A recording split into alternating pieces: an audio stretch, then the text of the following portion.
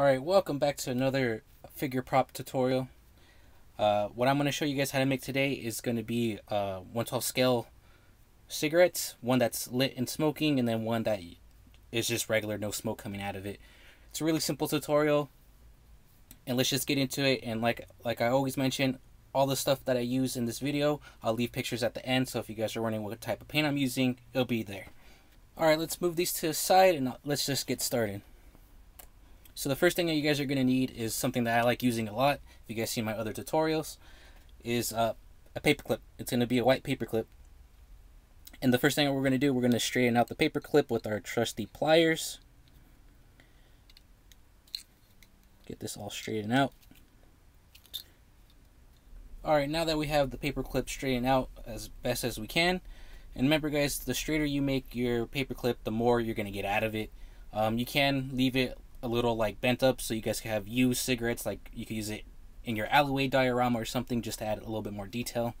So what we're going to do is we're going to measure with our fine tip uh, Sharpie 15 millimeters and that's going to be the size of our cigarette.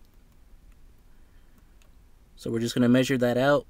I'm going to cut two of these and then come back to it. I'm just going to use my uh, my pliers to cut them and we'll come right back with the segments. Alright, now that we have both the pieces cut out, I'm going to show you how to paint paint it so it looks like a cigarette. And I also grabbed a scrap piece of foam so I could stick the cigarettes into the piece of foam while they're drying so I don't have to lay them down and ruin the paint job. So what I'm going to do is grab my cigarettes and poke them into the foam just so I have a sturdy place to put them. And another thing that I want to point out is whatever side that you cut, uh, that should be the front side of the cigarette because it always comes off a little bit messed up and you can see the black in there so it kind of gives the illusion of it having tobacco in there. Okay, so now that we have them plugged in, placed into our foam so we have a steady place to paint, I'm going to get light golden brown and paint the very ends of them.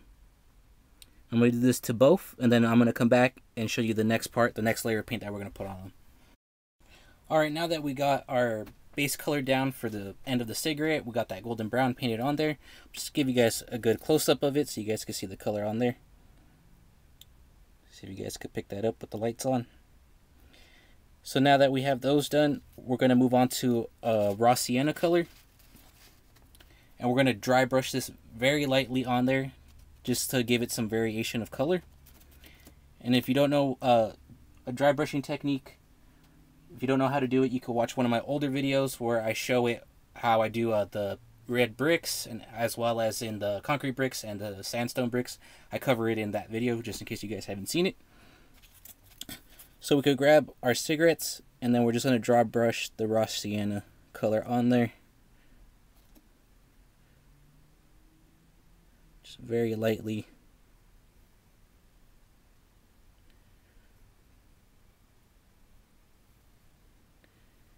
And this just makes it look a little bit more realistic instead of having one tone color in there. I don't know if you guys can see that. But I have close-up pictures at the end of the video so you guys can see it up close. And I'm just going to do that to the other one and then we're going to come back and I'll show you how to do the smoke effect onto it. Alright, we got the paint on there and to make sure it's sealed and none of the paint rubs off on your figures, um, I was using Mod Podge, but then I ended up switching it up because I found out it was coming off way too easily. So you could either hit this with Mod Podge, like I said before, it will come off a little bit too easy, or you can hit it with uh, some super glue, which I already did to keep it all sealed up. I just wanted to mention that to you guys before you know you make this and then you forget to seal it, and then you see paint rub on your figures. I just want to make sure you guys your figures stay safe and all that kind of stuff. So now that I cover that, I also want to give you one quick tip. This does fit into Marvel Legends. Uh, also, the import figures. Like, if you want them to fit in, fit into the bigger scale, like NECA and stuff like that, instead of the 15 millimeters, you can make it 17 millimeters, and I'll kind of cover the base on that. All right, now that I mentioned that, I'm going to move on to show you guys how to do the smoke coming out of it. I'm just going to set one aside. And basically what I like to use is um, poly polyfill for pillows. And I use this because uh, I think it looks better on camera. Because uh, if you use cotton, it doesn't have um, spaces in between it. It's really dense, even if you kind of like air it out. So I like using this polyfill stuff that they put in pillows. Um, so basically, you're just going to grab a pinch of it, This is even sometimes too much. Just take a smaller pinch of it, kind of trim it up with your scissors.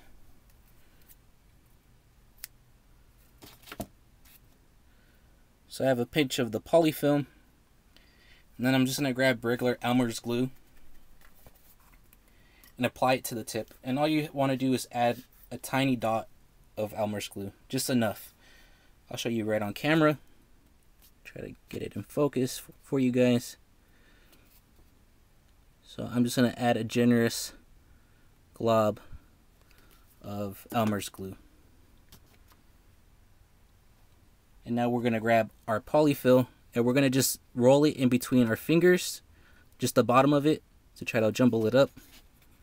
Alright, sorry about that guys, I was out of frame. I'm back in frame for you guys. Try to make this focus. And we have the glob of Elmer's glue on there and just going to roll the end of your polyfill at one end to try to jumble it up and then you're just going to apply it right onto the Elmer's glue and just hold it there for a little bit. And like I said, this polyfill, it has, uh, it's less dense so you can see kind of through it. It makes it look more realistic on camera when you're taking figure photography. And I would recommend either using Elmer's glue or tacky glue to kind of get it really stuck on there. And you're just going to let it dry and then add a little bit more Elmer's glue on there just to make sure it's secure. And that's how you make the uh, smoke effect for the cigarettes. So you can have one of your characters, say you have a character that is known for smoking in comics, or it's a superhero or a villain.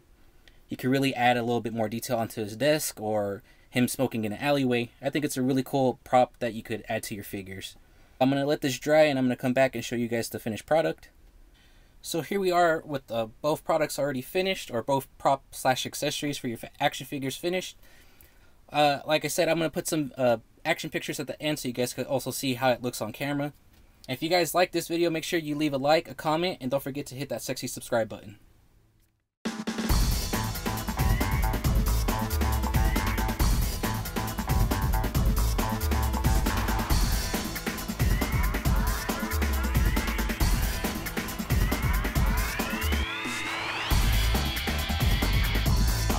I'm just going to apply this on here